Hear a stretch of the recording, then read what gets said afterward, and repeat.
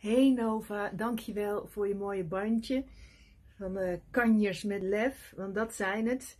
En uh, ik wil je heel veel succes wensen verder met je geweldige actie. Heel veel liefs voor je hele familie, voor jou en een dikke kus, ook voor Otis. Mwah. Dag dag!